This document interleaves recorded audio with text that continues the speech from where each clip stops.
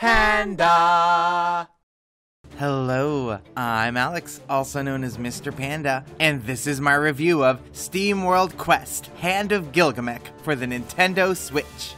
Versatile developer Image & Form has covered tower defense, platformers, and tactical shooters, somehow connecting all of its games into one steampunk robot universe. Its latest project, SteamWorld Quest, Hand of Gilgamech tackles the RPG genre using a turn based card battle system that keeps the adventure engaging. The journey follows Armilly, an imaginative robot who wants to be like her hero, the legendary Gilgamech. Colorful mechanical characters like the alchemical mage Copernica and the strong, funny Galleo accompany Armilly on her quest to become a great heroine. As an RPG, SteamWorld Quest is inherently more focused on story and dialogue than its predecessors. Its lighthearted narrative hosts solid twists and character character development, although it doesn't pick up until the end. Nonetheless, the characters' personalities carry the plot. In SteamWorld games, the stellar art and gameplay stand out, and SteamWorld Quest is no exception. In each chapter, your party of three travels through a map of interconnected rooms, searching for key items or the boss. When you run into or initiate a preemptive strike with an enemy, battle begins. Combat is where SteamWorld Quest stands apart from your typical RPG. The turn based nature may be familiar,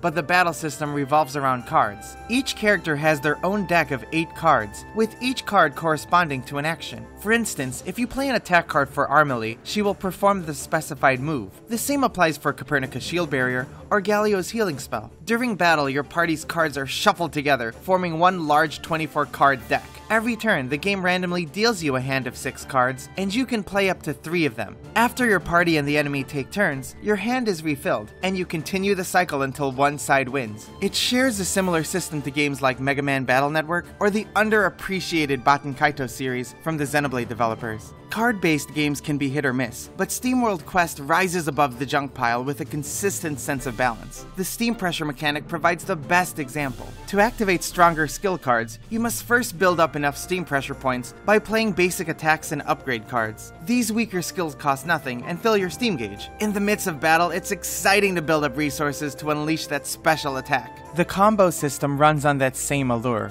If you play a set of three cards from the same character within a turn, you unlock a bonus fourth special move known as a heroic chain. As someone who enjoys pulling off combos in tabletop card games like Pokemon and Yu Gi Oh!, I was cheering after every heroic chain. Some cards also incorporate synergy between characters, but there's such a low amount that it's difficult to strategize around them. Success rides on preliminary deck building, and fans of trading card games will appreciate the effort needed to create decks that balance strength and cost. Collecting new cards, upgrading their abilities, and equipping stronger weapons that switch your heroic chain skills fulfill similar highs to skill trees in other games or opening physical card booster packs. In an era where long winded RPGs can grow stale, SteamWorld Quest's skirmishes stay fresh thanks to the randomized card combat. Mixing and matching over 100 cards and experimenting with unique character fighting styles are cerebrally stimulating. Older cards remain relevant since their power is based on character stats gained via leveling up with experience points. The developers have made efforts to prevent gameplay from becoming overwhelming. Cards are marked and color coded to help players grow accustomed. There is no time limit during battle, so you can strategize at your own pace. If anything, the default game tempo was too slow, but the fast forward option offered my ideal speed. I found the normal difficulty to be manageable, but players can also bump that up or down. Since dying simply brings you back to the last healing statue, grinding is a relatively safe endeavor, albeit a tedious necessary evil. It's annoying that the only ways to reliably heal between battles are by using items or finding a heal statue. The latter fully recovers your party, but also respawns enemies, which I thought was a fair trade off.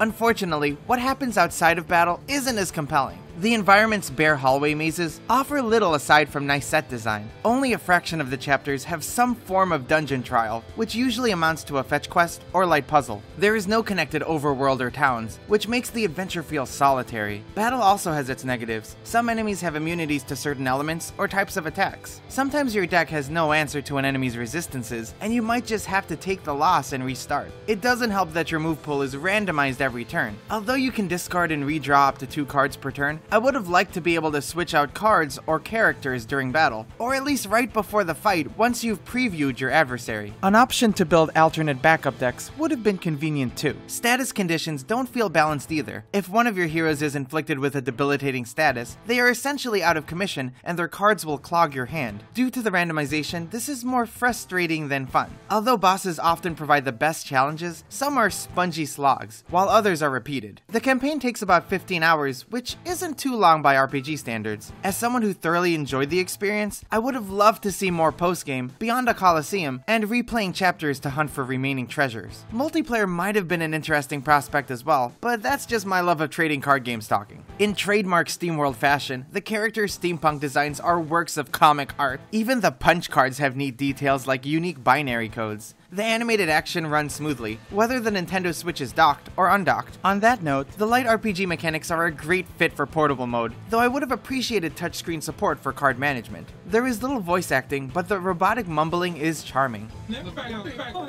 The fusion of medieval music and epic guitar riffs were quite catchy, and never got old despite playing during every battle. Even in a different genre, SteamWorld Quest Hand of Gilgamech delivers the same wonderful quality that all of Image & Form's titles have thus far. The card battle's luck of the draw may pester some, but it also offers engaging turn-based combat. Exploration and post-game aren't the best, and I would love if they improved in a future update or sequel. The journey may not appeal to everyone, or even certain RPG fans, but anyone who enjoys card games, whether physical or digital, will find it worthwhile to embark on this SteamWorld Quest Quest. I give SteamWorld Quest an 8 out of 10. Thank you for watching. If you enjoyed the video, it would be so awesome if you give it a like, and please be sure to subscribe for more in-depth Nintendo reviews. Let me know what you think of SteamWorld Quest and what your favorite SteamWorld games are in the comment section below. This was Alex, aka Mr. Panda, and until next time, bye bye.